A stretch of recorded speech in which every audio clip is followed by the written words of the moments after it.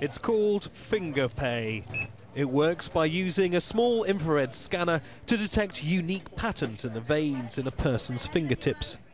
The information is then linked to a customer's bank details. It's being used for the first time in this supermarket at Brunel University in West London, where large numbers of students are eagerly registering their details.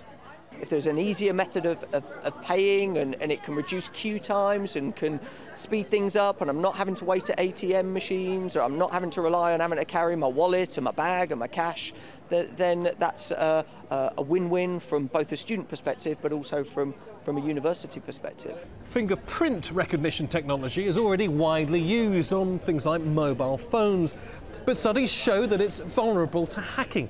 A simple smear left on a device like this can be easily copied. But Sthaler, the British firm behind this reader, devised in partnership with the Japanese tech giant Hitachi, claims vein technology cannot be compromised. You can't copy it like you can with a fingerprint. It is much, much more secure. And in fact, the numbers we're told are one in three billionth of a chance uh, that there's a, anybody is going to be able to have the same finger vein. So it's pretty secure. It also requires the finger and the person attached to be alive. Vein scanners are already used to access some high security buildings.